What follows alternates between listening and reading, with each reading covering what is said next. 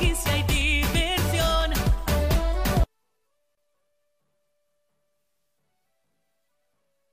Bien, nosotros seguimos aquí veloz en nuestro espacio El Toque del Mediodía a través de este grupo de Telenor, Canal 10, el 1014 de Últimos Cables, Canal América en los Estados Unidos, nuestra plataforma arroba El Toque del Mediodía. Buenos días a todos los televidentes que están sintonizando en este momento nuestro espacio.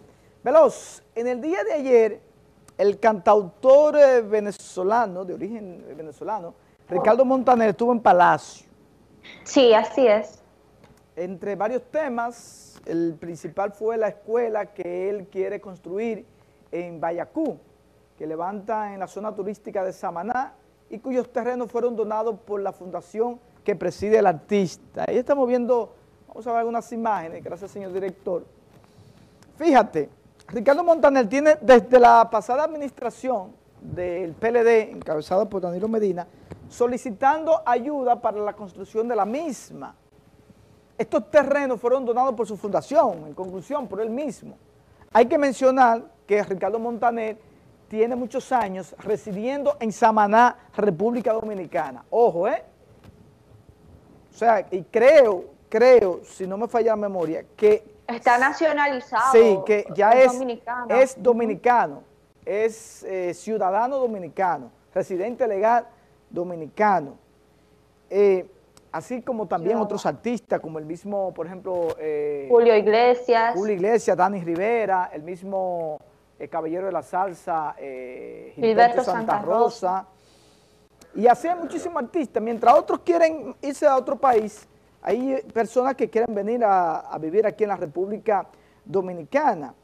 Entre otros temas, aparte de la escuela, el cantautor eh, Ricardo Montaner le solicitó la situación de, muchos compueblanos eh, venezolanos eh, que según él se estiman que, bueno, ahora mismo eh, saludamos a una venezolana eh, que estaba aquí en el canal, hay más de 25 mil venezolanos que se estima residen en la República Dominicana debido a la condición de crisis que hay en Venezuela.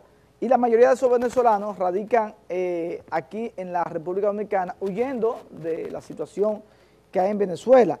Entonces, eh, Montaner habló sobre el tema de, de la legalización de muchos venezolanos que están de forma ilegal, ya que en el país pues vienen con una visa de turista y caen en el tema de la ilegalidad.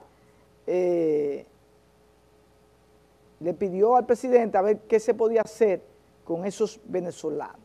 Y sobre la escuela, el presidente le dijo que ya es un hecho, que cuente con todo el apoyo del gobierno y del presidente Luis Abinader para la construcción de la escuela.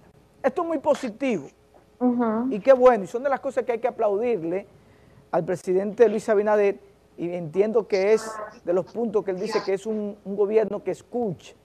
Y qué bueno que se dio esta, esta reunión con Ricardo Montaner y que se podrá construir esa escuela. Así que vamos a darle seguimiento a este tema. Hay que decir, hay que decir, Roberto, Ajá. que el antecedente para que se diera esta reunión en Palacio con Ricardo Montaner, que duró una casi dos horas, duró el aproximado de tiempo, fue porque eh, Montaner se expresó vía Twitter de que no quería que todo el esfuerzo de varios años por hacer esa escuela una realidad, al ver una transición política, se viera afectada. Entonces el alcalde, el síndico, como dijo él mismo, de dicha demarcación, dijo que contaba con todo su apoyo para hacer todas las obras sociales que él quisiera, a lo que Ricardo Montaner le contestó, lo desmintió, le dijo que era un mentiroso literal porque le estaba poniendo todas las trabas del mundo. Ese fue el antecedente para que Ricardo Montaner fuera al palacio, eso se hizo totalmente viral.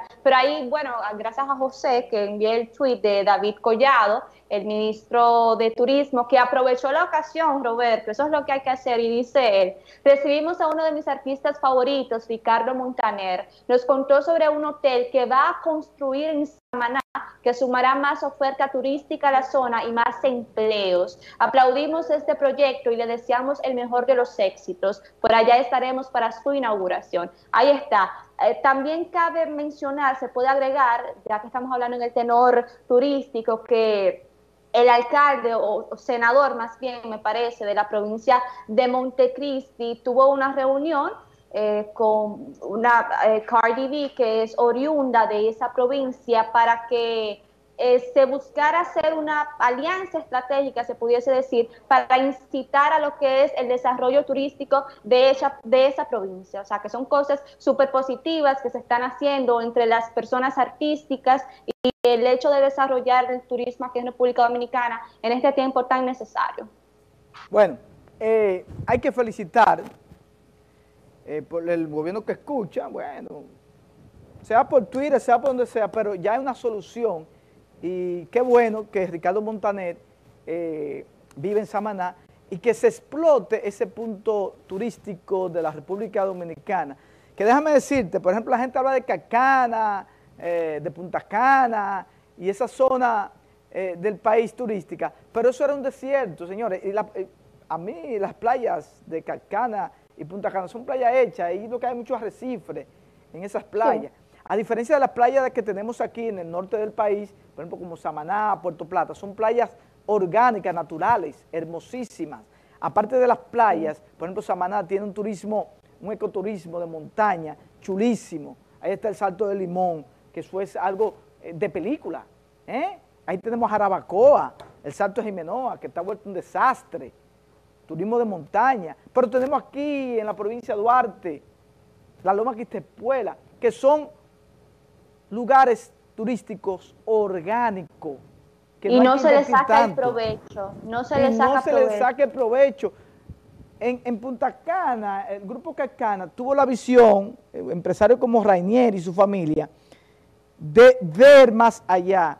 Y es lo que yo digo, ahora con el tema de la, la economía naranja y esas cosas, los empresarios muchas veces tienen tantos millones y no saben dónde invertirlo porque no tienen la visión.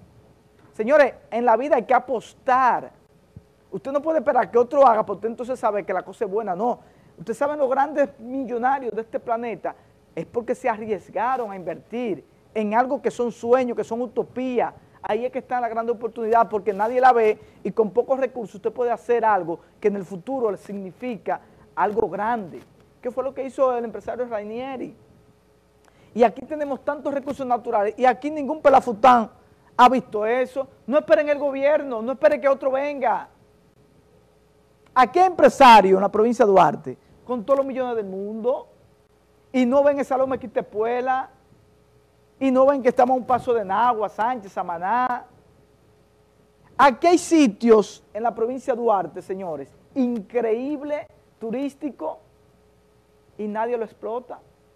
Nadie lo explota. Va a venir otro de fuera y después las cosas van a coger plusvalía, entonces van a querer invertir. No joda, no joda.